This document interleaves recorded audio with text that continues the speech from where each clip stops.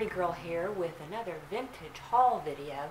This is a bit of a combined haul, uh, mostly from the flea market, but I do have a couple of garage sale finds and uh, some more donations from friends who are, they just love the fact that they can get me to take stuff, just come to their house and take stuff away. So I do it. Uh, anyway, um, I guess I will show you the jewelry that I got at the flea market first, and then the jewelry my friend gave me, and then I'll move on from there. So um, the first thing is that I bought a jewelry bag, but it was only five dollars, and she told me ahead of time that it was it was mostly broken, and um, you know stuff for crafting or uh, harvesting stones or whatever. But I thought five dollars for a big bag was not too bad of a price. So this is what's left. I, I threw a bunch of it away, like not even good for crafting. Um, but this is what I'm going to use uh, to either harvest stones or craft with. That being you know, kind of an unrealistic thing because I haven't crafted in ages, but maybe I'll start again. Uh, let's see. There were some some usable uh, or you know wearable things that I'll probably try to sell. This is a really pretty little bangle with black beads wrapped around it. I thought this was a nice modernist pen. It is, um, it looks like it's hand hammered, but I don't think it's silver. I haven't tested it, but I don't think it is. But it's nice looking. And it's, it's nicely made. So I think I can sell that. Um. This is a nice cloisonne belt buckle. And I sell a piece of cloisonne every once in a while. This one's really pretty with the butterfly, and I like the black. I have sold these before, so I assume it'll sell at some point.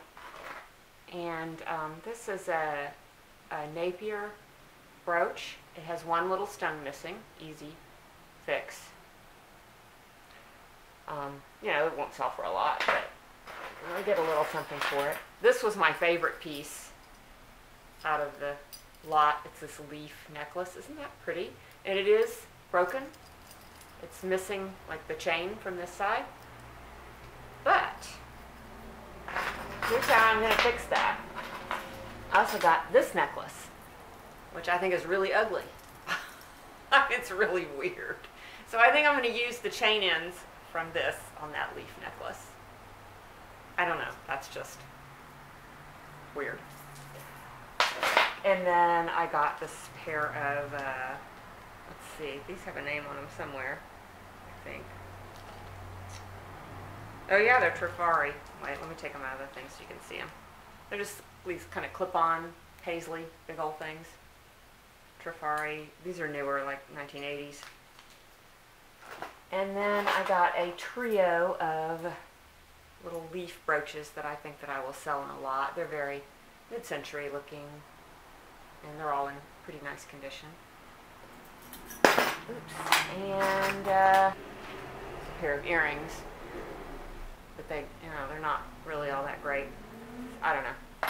Okay, so that's that. Oh, this is nice too. Um, this looks pretty old. It's a little stick pin with a faux pearl. So I might, uh, I might try to sell that on its own. Okay, then also at the flea market, I got this, which I paid too much for, but it was so cute I just couldn't walk away from it. It's this charm bracelet. I think these are pewter, and it's all these little people like this uh, organ grinder and a, a roller skating girl and a policeman and a shoe shine guy and um, a news newsboy seller type and I don't know what this one is. That's you know, is that the policeman? That's the policeman. I don't know what the other one is. Well, anyway. Um, I just thought it was really cute. It's probably 1950s, I would say. And um, I don't know. I paid $5 for it. It's crazy. Crazy! Uh, I got this.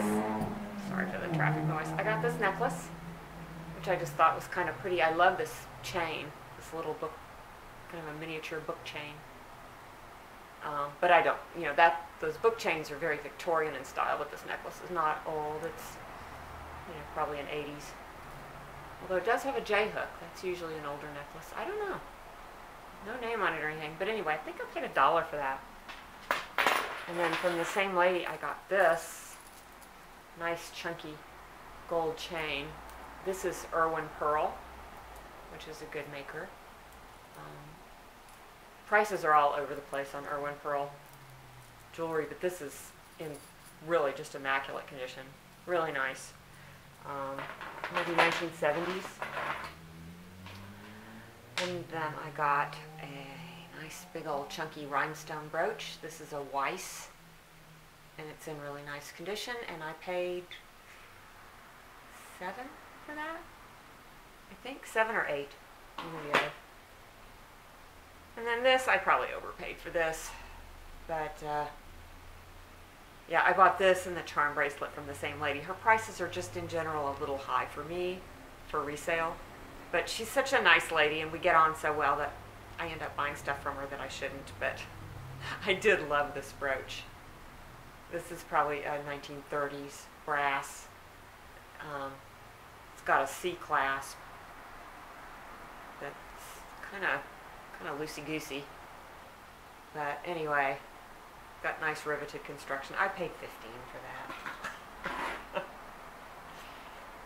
uh, let's see, is that all? Oh no, I've got some rings. Oh, I have this brooch. I love this brooch.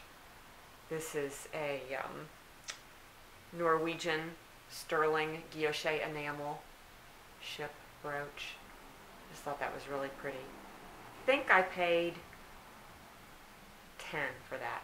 I might have paid 15, but I think I paid 10. Um, I got this interesting ring, which is a mystic topaz. And it's topaz that's been heat treated or chemically treated or somehow to make it do those colors. And I was just fascinated with it. I couldn't put it down. That's always a bad sign. I'm not even sure how old it is or anything, but I paid 20 bucks for it. It is in sterling silver with marcasites, and it looks kind of Art Deco, so I don't know. It's um, it's marked SF, and it seems like I know that mark, 925. Anyway, crazy. Uh, this is a sterling silver ring, nice metal work, and I paid 10 for that one. And uh, this is another one of these kind of multi-stone rings that I really like. This is citrine, garnet, and smoky topaz. They're nice big stones, and I paid 15 for that one. And it's in sterling silver. And that's all the jewelry. I think that is all the jewelry. Um, I'll show you the stuff that my friend gave me. This is a very nice uh, double strand of crystal, no, triple strand, crystal beads.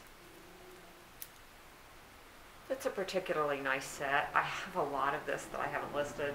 It doesn't sell very well, I have to say. And it has a, a bracelet that goes with it. The clasp on the bracelet is marked sterling. And then there are some earrings also. Oh, the other one's inside the bag, so I can't get it out, but that's what the earrings look like. And um, they're, you know, it's a very nice set. It's in good condition, so. And then uh, she also gave me some of these stone, these uh, shells. That uh, the name of this type of shell is escaping me, but I will find out by the time I edit the video, and I'll put the name in. It's like these stones that they use, or uh, shells that they used in Victorian jewelry. And uh, I just sold a bunch of them. But these ones already have the little hardware in them to make them charms or pendants. So three of those. Um, she gave me, this is all almost all gold. It, I think it is all gold for scrap. It's all broken orphan earrings, uh, rings with no stones, and uh, and some gold teeth. Gold teeth. Yeah, I took I took that out of the bag and I was going, what is this? What is this? Ugh. Ugh. Anyway, but somebody's gold teeth, gross. Gold is gold. Um, oh, I forgot to show you these in the, um, the, the grab bag of jewelry. There's a couple of pairs of earrings that I thought were pretty that I would keep and wear for a while. One of them was this. They're um, just some brass and enamel studs, no name. And then these little dangly pink glass ones. Pretty, pretty typical stuff that I like to wear. So.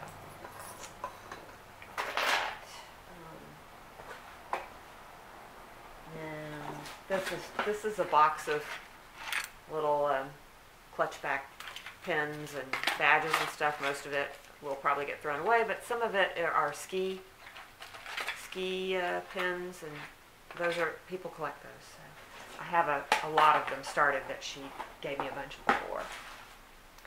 Um, okay, now I really am done with the jewelry. Um, let's see. I'll show you my garage sale purchases real fast because there's just a couple. I got this. I think it's like a not any particular kind of metal reproduction teapot, but it's really pretty. It's Chinese with the um, now the, I had a guy look at this at the flea market because I wasn't sure what it was. I wanted to make sure it wasn't old before I sold it too cheap, and I, it's not. But um, he said he thought this was supposed to look like hand painted porcelain, but I have an actual antique one of these that somebody told me it was hand painted rice paper behind glass. So I don't know. It looks hand painted to me. But I got that at a garage sale for $3 and I got this also at the garage sale for $3. It's the same kind of thing. They're vintage but not old. And then actually I got these three things for $10, so a little over $3. And I got this really pretty porcelain box little trinket box. And this is marked uh, Bohemian porcelain. So, you know me and my trinket box. Boxes, I love them. Okay, so that's all the garage sale stuff. And, um, let's see, flea market stuff. Uh, I bought these bowls. These are actually for me. I like to eat my cereal out of these kind of bowls. so whenever I can find them for a good price, I buy them. So there were four of these, and each one's different. They're all made in China, but they're they have the, the Chinese markings on the bottom, which is kind of neat. There's the third one. I already have four or five of them.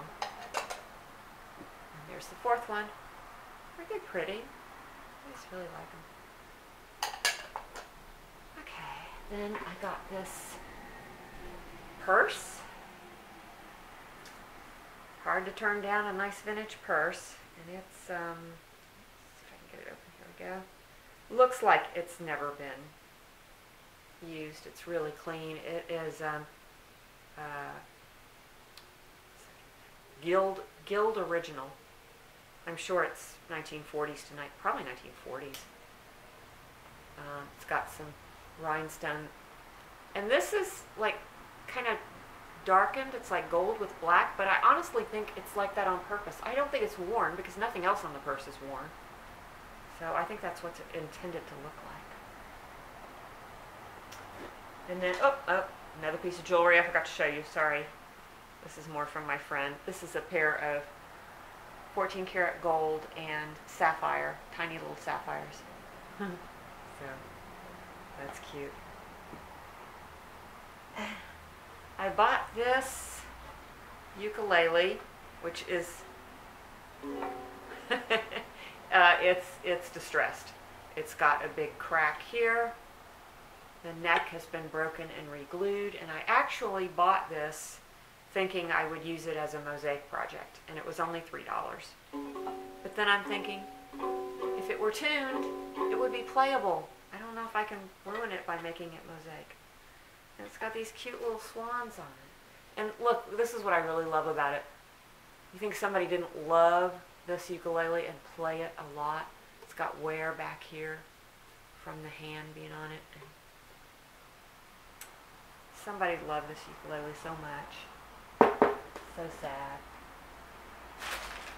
Uh, okay, I got some paintings behind me Let me show you those.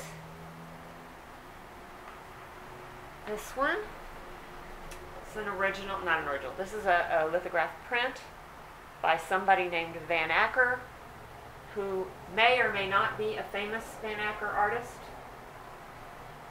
It looks pretty old, still involved in research. If it is a Van Acker print, um, it's not numbered or anything, but it is pencil signed.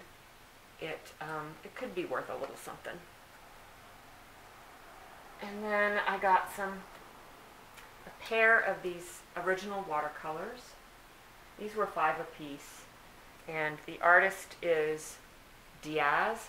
I think this is more like souvenir artwork. I don't think it's anything too special. There is a famous artist named Diaz who did some watercolors in Spain, but um, I don't think this is his work. It just doesn't look quite right. But I thought they were pretty, you know, and for five apiece, goodness, hardly go wrong with that. And they're um, they're of the cities of Cordova and Seville, which are two places I visited when I went to Spain. Nice.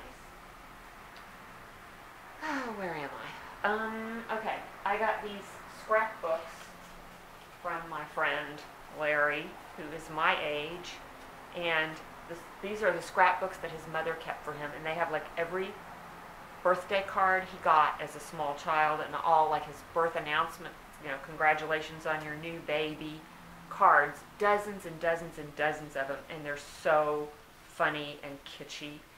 So I'm gonna, I'm taking the um, scrap. I can't believe he didn't keep them, but he's like a, he's kind of a nomad. He doesn't keep much stuff. So um, look at this. Here you have a baby boy. Oh, they're so cute. So I'm going to make a big, you know, scrapbooking lot out of all these. I just, at night, as I'm watching TV, I can tear up the scrapbook. Makes me sad, but I'll do it anyway. Um, and then I have some more paintings to show you, but they're big, so I'm going to move the camera. Be right back. Okay. This is the first one. Get down here, we can see it. And uh, this is by an artist named Roberta Clare. And that's her signature. And she is a listed artist, and she's pretty well known. And her she she apparently does nothing but these seascapes. And um, I, her paintings appear to sell in the low hundreds, like two to three hundred dollars. So that's one. It's very nicely framed. And then, uh-oh, this one's turned backwards. How am I going to show this to you? Let's see. Maybe you can see it this way. Well, this is not ideal, but um, anyway, uh, this artist is also fairly well known. His name is Charles Beauvais, and uh, his paintings also sell in the um, well, I saw some that were listed for sale like close to a thousand dollars, but I don't think uh, I don't think I'll get that. And then the, these are two violins. Um, I'm not going to open these up right now, but there are violins in here, and they're in very nice condition. They're not real old, but they're not new either. And then there's the sorry the um, bows that go with them. One of them's one of them's kind of uh, not in good shape, but the other one's good. Oops, sorry, camera strap. Sorry, I forgot to show you one other thing. This is a Chinese embroidery on silk of a cat. Oh, boy, can't really see this very well, can you? There's the cricket. There's a kitty cat and a cricket, and it's on silk. And it's in this round frame. And then, here's what's really cool. You turn it around, and it's another cat, a different color cat, the mirror image of the first cat. And um, believe it or not, these are very common. I thought it was something so unique, and they're very common. But this is an older one, and it it did used to be in a frame that you could spin. You could just spin it around, and well, anyway. Um, so I'm going to try and figure out some way that you can hang it and flip it to view whichever side you want. But I paid $8 for that. Look at his little face. It's beautiful embroidery. Look at that. I know it's kind of hard to see, but it's so nice. So there you have it.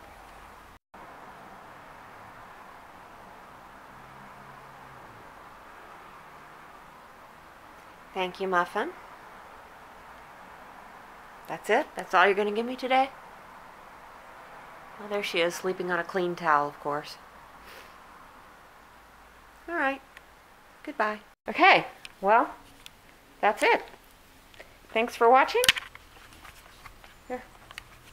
I don't usually do it like this, but thanks for watching, and these items are or soon will be for sale in my Etsy shop at vintagedazzle.etsy.com or on eBay where my name is Kara Lennox and the links are down below. If you like this video, please give it a thumbs up and subscribe if you haven't. And if, um, if you care to make a comment, I will try to respond to all comments. I do my best. All right, thanks. I will see you next time. Bye.